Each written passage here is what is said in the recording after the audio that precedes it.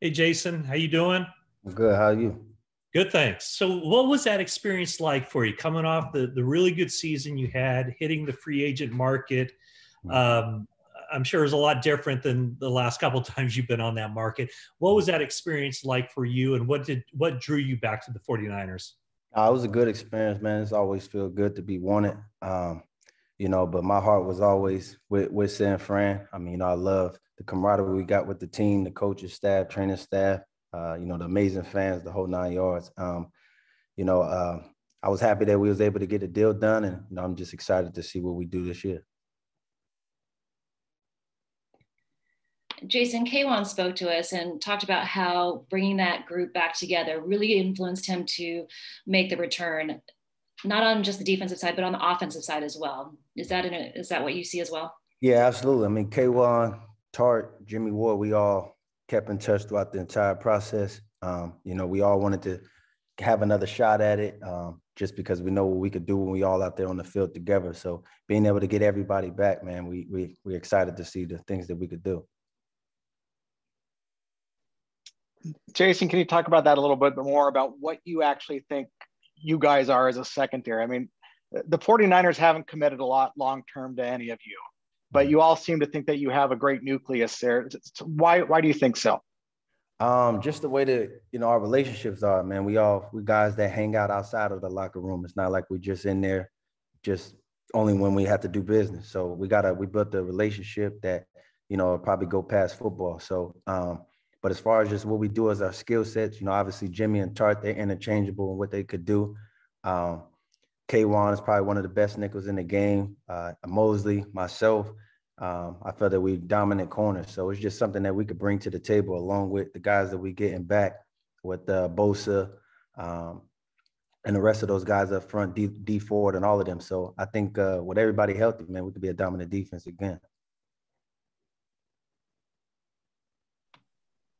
Jason, congratulations on on coming back. I, I, was wondering whether you've had any conversations with your new secondary coach, uh, Cory Undlin, and uh, if so, what he's like, and whether you see any sort of uh, changes, philosophical changes coming um, to the secondary. Yeah, we just had a few conversations. It was just quick, you know, congratulations and him introducing us, introducing himself.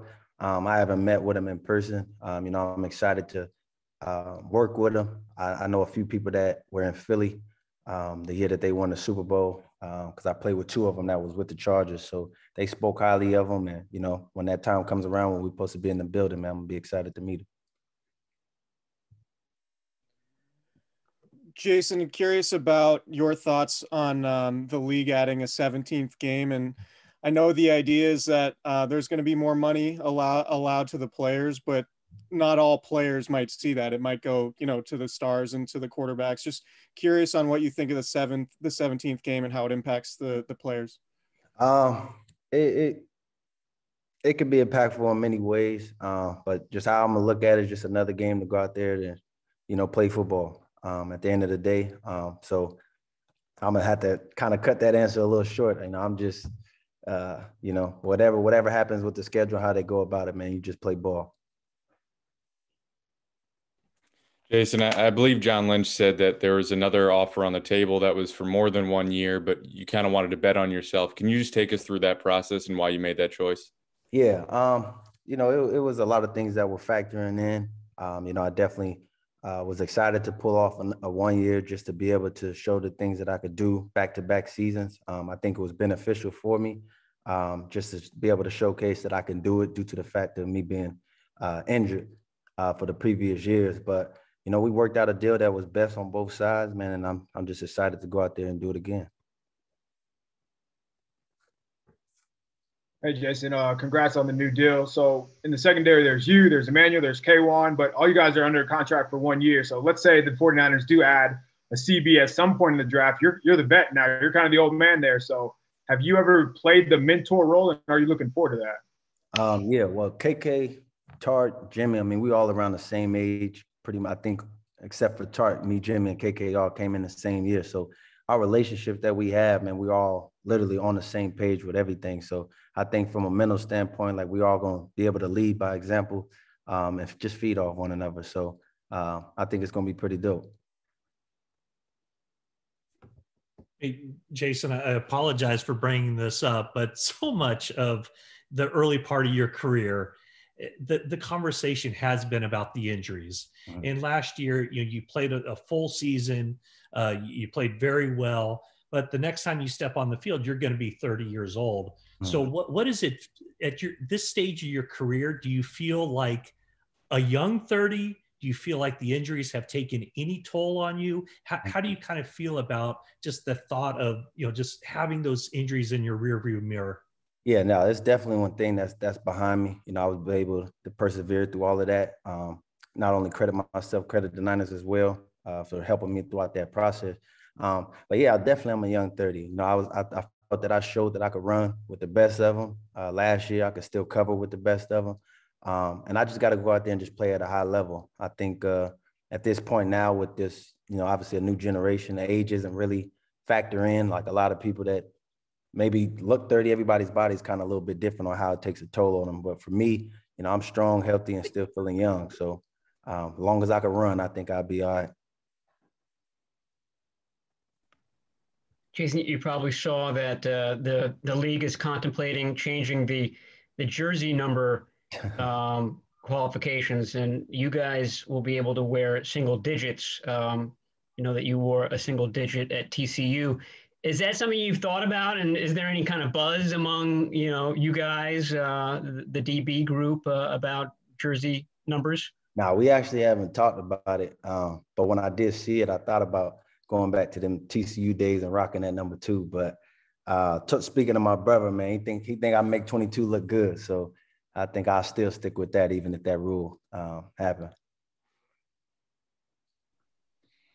Jason, the 49ers have been in the news a lot, obviously, for moving up to the number three spot in the draft. And while I don't expect you to talk about Jimmy Garoppolo, can you share what your relationship is like with Kyle and John? And, and because of that, you know, why you think, you know, the relationship between them and Jimmy Garoppolo may not be disturbed?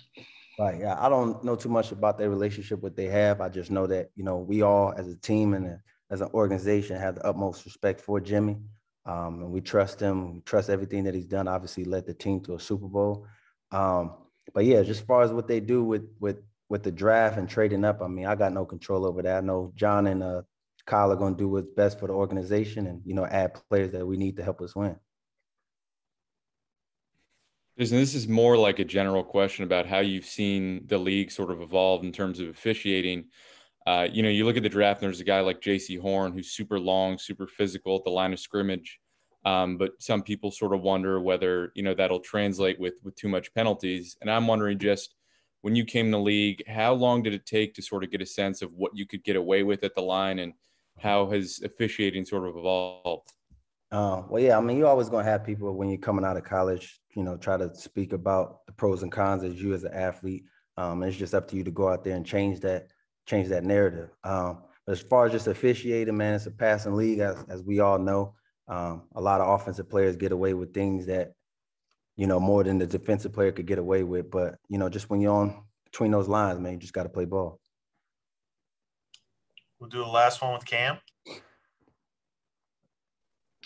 Jason, when when you look around the league and especially the NFC West, I, mean, I guess how appealing is the fact that you're going to go against a couple of the best receivers in the league to kind of prove yourself again this year, whether it's Hopkins, Metcalf, whoever the Rams throw out there? Uh, I think it was meant to be for me to come back. Um, it's another way where I could go out there and dominate, uh, be the best guy that I could be for the team, um, going against some of the top guys in the league, like you mentioned, with AJ Green and D Hop Metcalf, and got to make sure my hamstrings is ready for D Jack because um, you know DeSean's still out there running. But uh, nah, I'm I'm excited for it, man. The more more competition we can have in, in our division, man, it's going to be better off for for us as players. Make sure you subscribe.